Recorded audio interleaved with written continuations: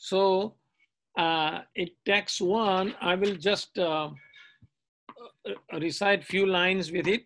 It says, Janmadiyasya yato anvayadi taratas charte suyabhigna swarat tene brahmaradayadi kave मुह्यन्ति सूरयः तेजो वारिमृदां यथा विनिमयो यत्र त्री सर्गो मृषा, दम्ना स्वेन सदा निरस्त कुहकम सत्यम परम धीमहि। So in this text one shloka one Shila Vyasadeva begins Srimad Bhagavatam by offering obeisances to the supreme absolute truth, the supreme person, the supreme personality of Godhead, Sri Krishna. You see in the picture, you can see uh, offering obeisances to Krishna. Okay, here is Vyasdev, here is Lord Krishna. Okay, so this first verse is spoken by Srila Vyasdev. As I mentioned earlier, yesterday, that the principal speaker is Srimad, of Srimad Bhagavatam is Goswami and principal listener is Parikshit Maharaj. But Sukdev Goswami will start speaking from Canto 2. Uh, in the end of the Canto 1, 16, 17, 18, 19 chapter, we see that Sukdev Goswami make appearance and then the conversation between Sukdev Goswami and Parikshit Maharaj will begin. So first canto, in the first verse, first three verses spoken by Srila Vyasdev. And then there is another speaker called Suta Goswami. And also there are sages gathered there in Naimisaranyam. So there will be a conversation between them. So in this verse, basically, uh, it is described Krishna's qualities. Krishna is all powerful. There are some personal characteristics of Lord Krishna called bodily feature or nature and form. And there are some other, other uh, marginal characteristics, which is uh, like his activities, you know. So the Lord, as we see, Lord Krishna does not have a material body. He is the supreme God Brahman. What Vyasadev saying in this first verse that Lord is Abhigna and Swarat. So he is, uh, let me see, where is the slide? So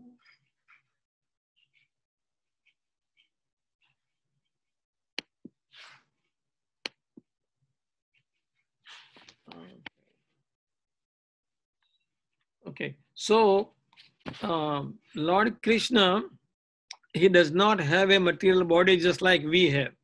Yet he descends among human being in his transcendental body as an incarnation. Therefore, it is very difficult for us to understand who is an incarnation. Only by his extraordinary prowess and uncommon activities, which are impossible for embodied living entities, can one partially understand the incarnation of Supreme Personality of Godhead. So go to the next slide, please. Can you go to the next slide? Yes. See here, uh, Lord Krishna's creation uh, is shown in this picture where you see the Lord Krishna the rays coming out from his body and you see the person lying down is a Mahavishnu or another term for that is Karanodakshai Vishnu. Okay, there are three Vishnu form like uh, Karanodakshai Vishnu, Garbhodakshai Vishnu and Kshirodakshai Vishnu. So here when Lord Krishna creates this material world, he creates through the Vishnu form, which you can see in this picture. Okay, so there will be a Vishnu form in each and every universe. So he creates but still remains independent. That is the nature of Lord Krishna. So Lord Krishna in this verse that we are dealing today is mentioned that abhigna in swarat, which is very distinguishing quality. Abhigna means he knows everything. He is knower of everything. And swarat means he's totally independent. He does not have to depend on anybody. Okay. So this is the nature of the Krishna is described in this thing. So to give you the whole idea, I will read the brief story of this thing and along with we will go through the slideshow here that we have. Okay, so the first one, it is mentioned here that at the beginning of Srimad Bhagavatam, Srila Vyasdev, the author, first offers his respectful obeisances, as you have seen in the previous slide. Lord, before we begin this story, uh, Lord Vyas, um, Vyasdev says to Krishna that I bow down to Lord Krishna with gratitude. He created this material world, although the, he eternally exists in the spiritual world. As you can see, he is from the spiritual world, but he creates this material world here. He is independent and the cause of all causes. He can place even the great sages and demigods into illusion. And I meditate upon him, he says. So if you see the next slide,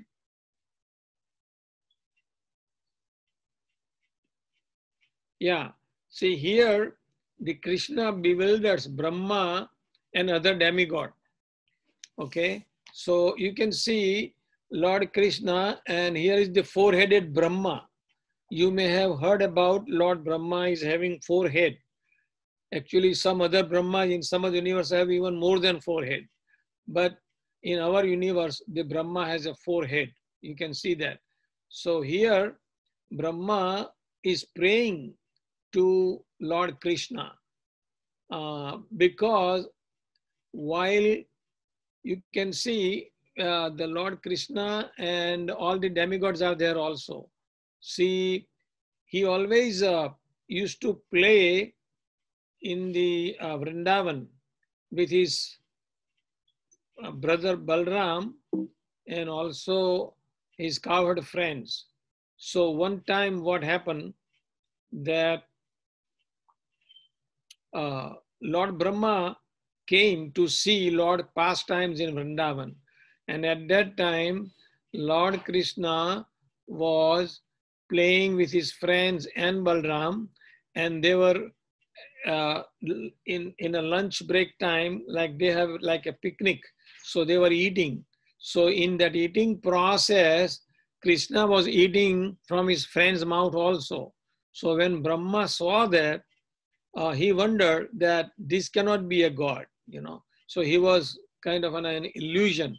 Uh, so he tried to test. Then what he did is he stole the calf, uh, cows and calf that Krishna has there, uh, and then he took it to his uh, some cave there, mountain cave. So here Lord Krishna knew that this is Brahma's uh, work. So then he created equal amount of cows and calves there, you know. And uh, then uh, next time when he came, uh, Brahma saw that the cows and calves are as is.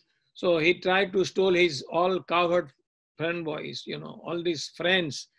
Uh, and at that time, uh, Krishna also created so many other uh, friends and stuff like that. So what happened, uh, then uh, Brahma is realized that there is nothing happening, everything is going as usual before. So then he knew the supremacy of Lord Krishna and he is uh, uh for, uh, asking forgiveness from Lord Krishna. In this picture, you can see that, you know. So, and in the next picture, we see this is the thing where uh, place of Dharmisarana, we get to that little later. I'll, I'll get the story a little further. We can say we can only understand the Bhagavatam if we have a pure heart. The stories from the Bhagavatam are true and blissful, and by listening to them attentively, we will meet our best friend, Lord Krishna, who is always in our heart.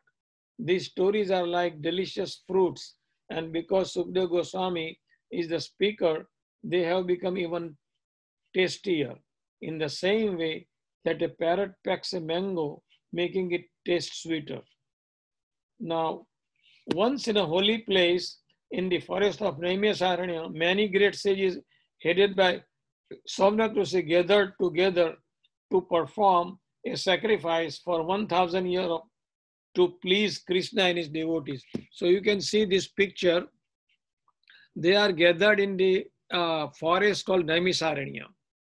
And over there, the, all the sages gathered there and they were performing fire sacrifice. Why they were doing? Because the Kali Yuga was coming. And because the Kali Yuga was coming, there are bad effects of Kali Yuga. So they want to mitigate the miseries of the people in Kali Yuga. So for their benefit, they were doing all these fire sacrifices. So during that time, uh, Goswami came there and we can see here uh, the purpose of performing their sacrifice is to uh, give peace to the humanity at large. And I will give you some introduction on Suta Goswami while we are here. And the Suta Goswami was present when Sukadeva Goswami recited Srimad Bhagavatam to Parikshit Maharaj. So, like I mentioned earlier, that 20 years after the Kali Yuga began, uh, when Sukadeva Goswami recited this Bhagavatam to Parikshit Maharaj, Sut Goswami was also present there. And he heard the whole Srimad Bhagavatam.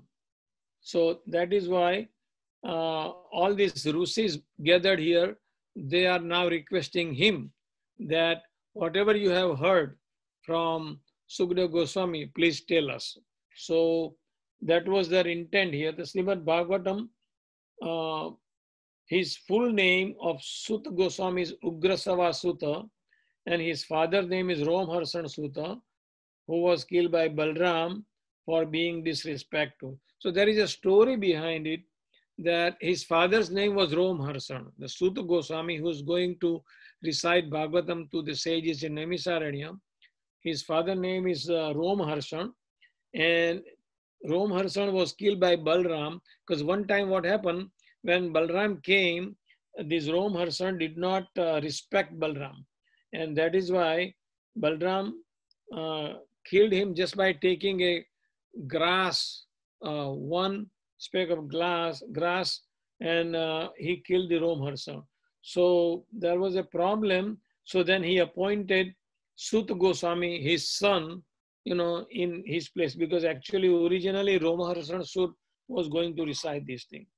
So Sut Goswami took the place of his father as speaker in the uh, sacrificial arena. Then the next character we're going to discuss is Suta Gos, uh, I mean Saunaka Rusi. Now Saunaka Rusi is the head of all these Rusis. You see there, they are all gathered there. And he was like a spokesperson. He's like a, a leader of all these Rusis.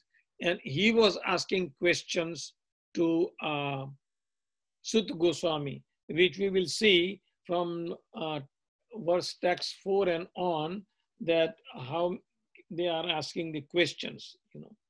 So here in the beginning, just wanted to uh, point out that Vyasdev pays the respectful obeisances to Lord Krishna. The sages gather in Naimisaranya to perform great thousand year sacrifice for the pleasure of the Lord and his devotees. uh, and then the sages offer Sud Goswami a seat uh, and glorify him. So this is where we are at this point, and uh, we will kind of take the uh, next before we go further in here. I just want to explain you about the next verse, which describes the Bhagavatam and defines the actual religion, uh, which we knew some of the stories of Bhagavatam. And the third verse, which is very important also, that encourages everybody to relish Srimad Bhagavatam, which is directly emanated from the sweet lips of Sukdev Goswami. So this verse 1, 2, 3, uh, in one verse what we have discussed is that Lord Krishna is a param, satyam param dhimahi. Uh, Vyasdev saying to Lord Krishna that, so what is param satyam? The param satyam is supreme absolute truth. And that supreme absolute truth is Lord Krishna himself. So there is no one other than him, you know.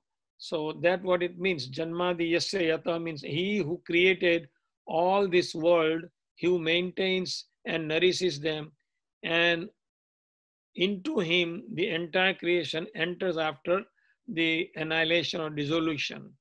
Uh, so that is why Janma, Sthiti, and Pralay, they are the Sanskrit word, but the translation is creation, uh, maintenance, and destruction is uh, carried out by Krishna's agency. I mean, originally he is the cause of all causes, but he is the one who uh, appoints his uh, Vishnu form to do all these things. Uh, and as a Guna avatar, which you will see in the third chapter, the Brahma, Vishnu, and Lord Shiva, you may have heard this Triputi, like Brahma is in charge of uh, uh, creation, Vishnu is in charge of maintenance, and Lord Shiva is in charge of destruction. Also, it is mentioned in this first verse that Tene Brahmadayadi Kavaye Muhyanti Suraya. Means this Vedic knowledge was first given to Lord Brahma by Lord Krishna. That is given here in this verse also. The Brahma is the first recipient of getting this Vedic knowledge. And in a very humble stage, that's why he's offering his obeisances to the Lord, which is a Vedic way of uh, great, you know, uh, expressing our love for someone, our respect for someone is that we always pay obeisances, namaste, like that. So that is the Om Namo Bhagavate Vasudevaya. Bhagavate here refers to Lord Krishna, you know. And Vasudevaya is the son of Vasudev. It's Vasudev, like that. So we will stop here and take questions from you. And we will continue our story tomorrow. Hare Krishna.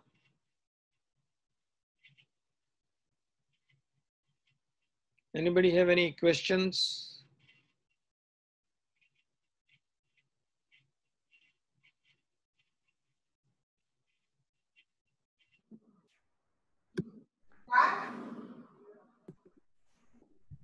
No. Yeah, so they did a mm, fire sacrifice no. to impress Krishna. Did they do no, fire no, sacrifice to impress Krishna? Hare, Hare Krishna, please ask one by one. Uh, please raise your hand if you have any questions. So one question. I have one question. Yes, please ask. Uh, so when did this happen?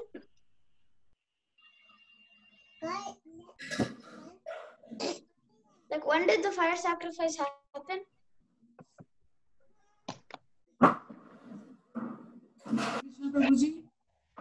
I can't hear you. You're on mute.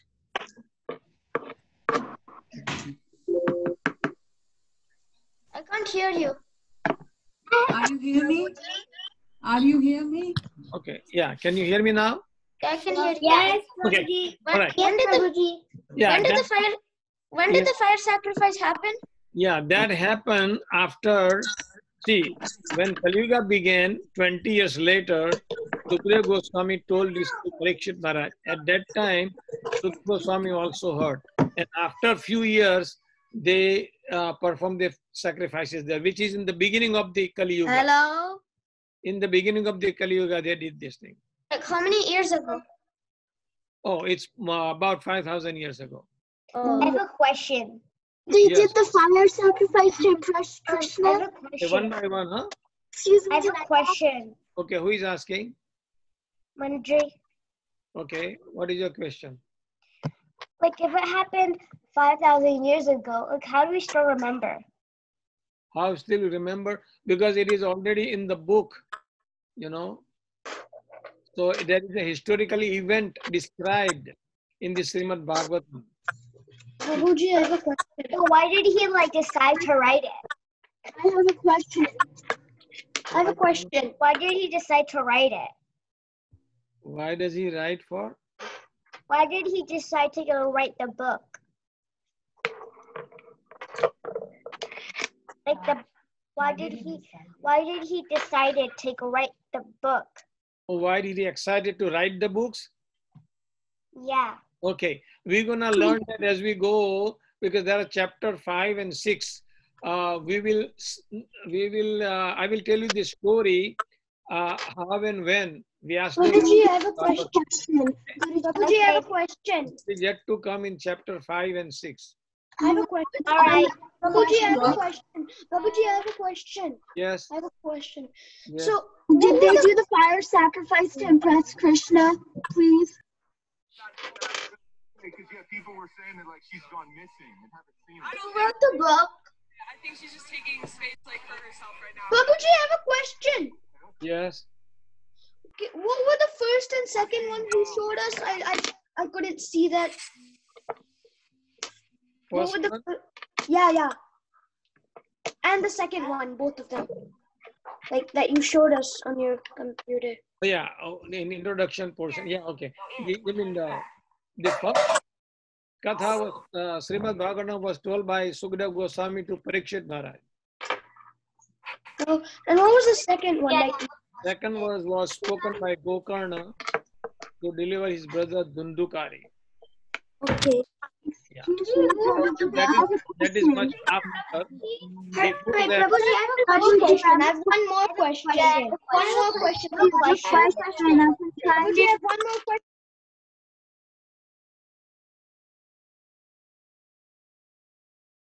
Prabhuji, I have a question.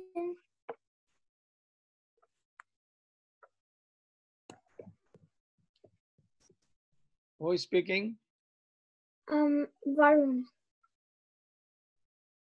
Yes, go ahead. Ask your question, please. Um, yeah, okay. My question is um. Wait, my question is um. Did um Sutta Goswami um hear the Bhagavatam from um Sukadeva Goswami? Yeah, when Sutta Goswami, uh, Sukadeva Goswami was telling Maharaj Parikshit, he was present there. Okay. So that's why he heard the whole Bhagavatam. Okay. du- During those days, by hearing, they will remember everything. Okay. Okay, next.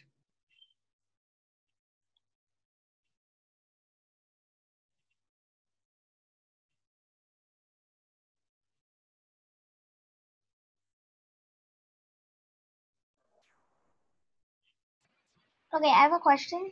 Yes. Uh, so uh, what did both like uh, both uh, Bhagavatam like who who all who are the sages who listened to uh, Sutta Goswami uh, in that uh, session in Naimisharanya? There are many, about 88,000 Rusis there listening that katha. And the leader of that all Rusis were, uh, was uh, Saunaka Rusi.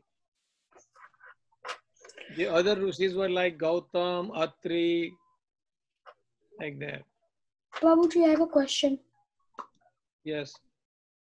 So, I mean, you told me the introductions, but I have one more question. Like the first and second, these things you showed me, what were the like mm, offering Krishna, like offering obeisances to Krishna, the first one, and Lord Krishna's cre- creations. offering obeisance. Yeah, the. Okay, before compiling or writing the Srimad Bhagavatam, uh, uh, Vyasdev was offering his pranam, you know, like uh, respectful gratitude he was offering. So, Okay. and at the same time, he has also was saying that what are the Krishna's qualities, you know, like that. So, Yeah. yeah, yeah. And what was the second one where Lord Krishna's creations? Yeah, the creation uh, which is mentioned in this, uh, the first verse that I Janmadi Yasya Yataha, which means creation, maintenance, and destruction, which is caused by Lord Krishna. So that was the purpose of showing the second slide, where how he creates through the Vishnu incarnation. There are so many incarnations we're going to learn about Krishna, but the for the creation purpose, he uh, has a Karanodakshai Vishnu called Mahavishnu. Also, sometimes we call it Mahavishnu. So through him, you know, and then Mahavishnu, through Mahavishnu, Why am I on unmute? I just mute myself. and then Garbhodakshai Vishnus have a navel, uh, from his navel coming out lotus flower, and Brahma was born on that flower. So you may have seen the picture that from Mahavishnu's body or navel, a lotus flower is coming out and Brahma is born there. Thank you. You're welcome. Next. Okay, so time is almost there for another class. So maybe we can take questions. Just write down your questions. We can discuss that tomorrow. Okay? And to One, uh, Tomorrow- two people's, two people's have uh, questions. They raise your hands uh, uh, before. So can you, uh, the Divit, who is Divit, can you unmute yourself and please ask the question? okay, go ahead. another one is uh, Edvik and Manjari. Please unmute yourself and ask one by one question. Thank you.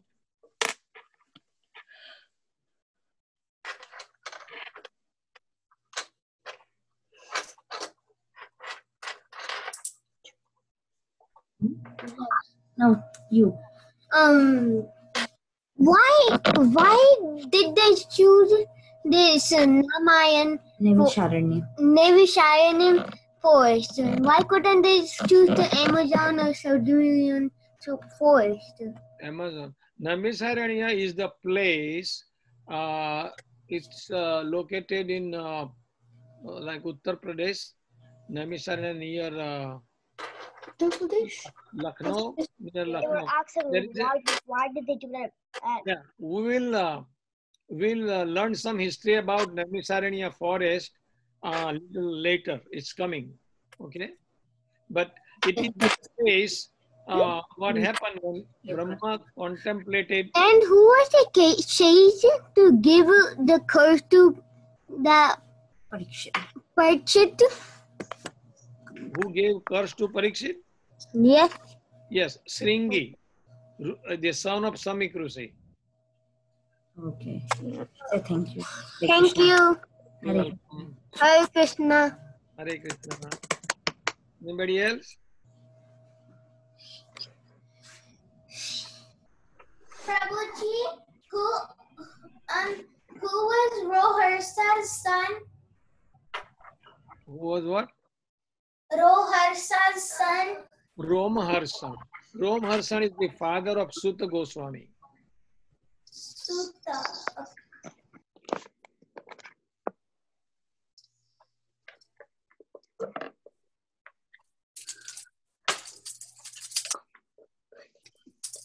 Okay, I see else? Vihan. Vihan has a question. Vihan, would you like to go ahead and ask Prabhuji the question?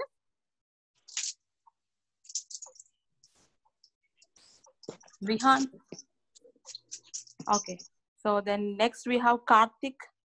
Karthik BV. Would you like to ask question to Prabhuji?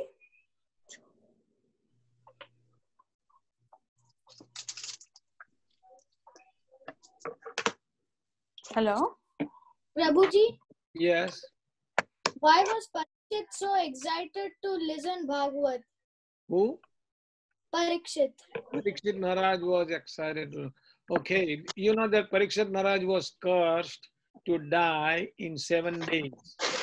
So he got kind of in a renunciate mood because he's done with his kingdom and opulence that he has. And now only seven days left and he has to die. So he wants to perfect his human form of life. Okay. So that is why actually it is not that he wanted to listen Bhagavatam, but he wanted to find out a solution that a person who's going to die, what he should do, which is kind of a teaching or lesson for all of us also. He knew that he's going to die in seven days. We all don't know when we're going to die, but that the Vedic scriptures gives us information that we should be Krishna conscious, God conscious, and develop our spiritual understanding rather than material uh, progress. And I have another question. Okay. So, did he die in the seven days or he was still alive? Yeah, so seven days he was alive during that time. So when he went to the bank of Ganges, uh, Sukdev Goswami came, you know, and at that time, uh, people knew that he is very exalted personality and he is Mahabhagavat, pure devotee of Krishna. So he wanted to know from him that what he should do.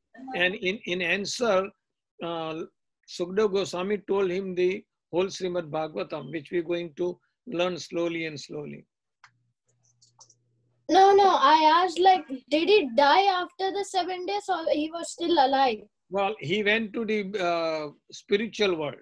He went to the Krishna Loka. He, he, he, he didn't die like uh, normal people or common people die, you know, Okay. because common people, when they die, I mean, they have to go uh, in another species according to their karma. I have But one question. Parikshit Maharaj got liberation and he went to the Krishna Loka, Krishna's Dham. Okay. Thank I Thank have you. a question. Yes. Akshar, Akshar, you want to question? Please ask. Uh, why was Parikshit Maharaj cursed? Because he put a snake on that Samik Rishi's neck. You seen yesterday, have you seen that slide? Why did he put a snake on the, his neck? The reason he put the snake is there because while he was uh, wandering in the forest for hunting, he became hungry and thirsty. So he, he came to the hermitage and thinking that he will get water there. So when he came there, the Rusi was, the sage was in Samadhi. So he did not answer. So he was frustrated sort of because he was thirsty. So Yeah. what to do? I mean, he was a king, you know, and that Rusi did not respect him, you know, not even heard him. And he wanted water. So he got frustrated and angry. So that's why there was a dead snake lying over there. He just put it on his neck. Okay, so thank you so much, Prabhu. So next we have, uh, I just want to let you know, boys and girls, it's now it's like 11, uh, 53 and we have another class at 12 o'clock. So at this time, we would like to honor two questions.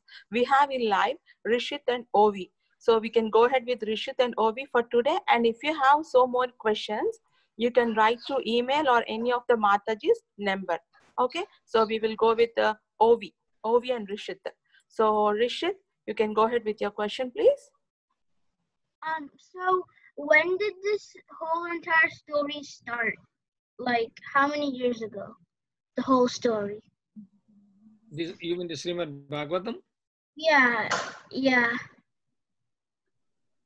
yeah, the, the story of Srimad Bhagavatam is eternal. It was manifested 5,000 years ago by Sukadeva Goswami. Sukadeva Goswami uh, heard it from his father, Vyasdev. Okay, Vyasdev heard it from Narad. Okay, Narad got it from Brahma, Brahma got it from Krishna. So this uh, knowledge is eternal. It has no beginning date, it has no ending date, like that. Okay. Okay, thank you so much, Prabhuji. So Right. I think Ovi Ovi doesn't have any questions. I believe so. He did not raise his hand. So thank you so much to all the kids and Prabhuji for joining this uh, Bhagavatam class and enlightening all the kids on this topic. So we will meet again tomorrow. Prabhuji, thank you so much. Hare Krishna. Hare Krishna. Thank you. Hare Krishna. Thank you so much, kids.